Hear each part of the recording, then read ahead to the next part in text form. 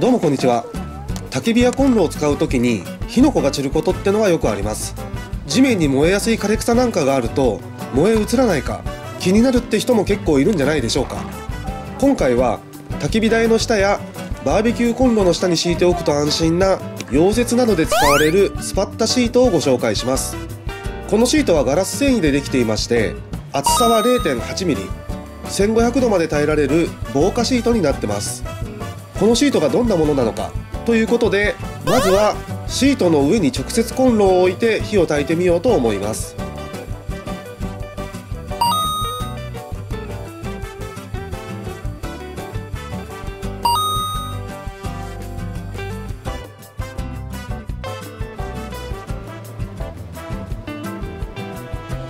さすがにこれだとシートの色も変わってしまいましてシート越しの地面も焦げてしまいました。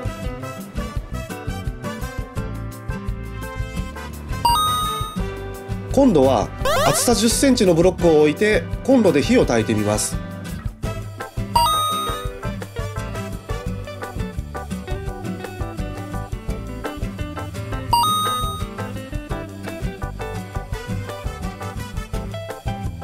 10センチの隙間があれば地面は何ともありませんでした。